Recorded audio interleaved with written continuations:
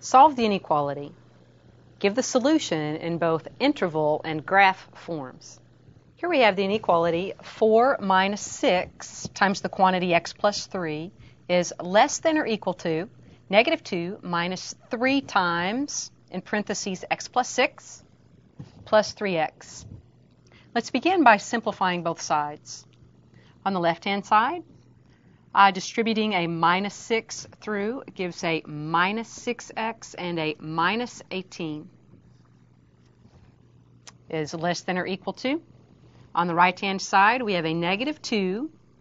Distributing a minus 3 through gives a minus 3x and a minus 18 plus 3x.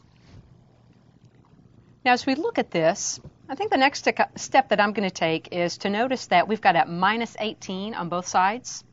If we add 18 to both sides, those terms are going to disappear. So I'm going to take those out at this point.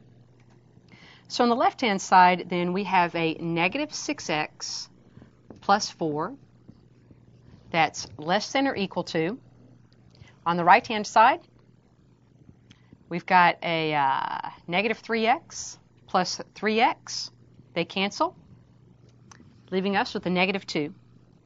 If we subtract 4 from both sides, then negative 6x is less than or equal to negative 6. And as a last step, I'm going to divide both sides by negative 6. As I do that, I'm going to have to remember to switch the direction of that inequality symbol.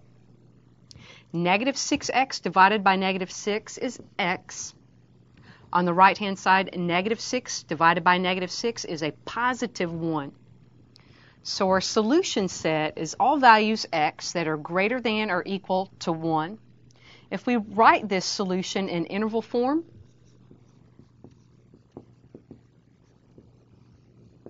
then we would describe that solution set as all numbers from 1 inclusive, the bracket means including 1, up toward positive infinity.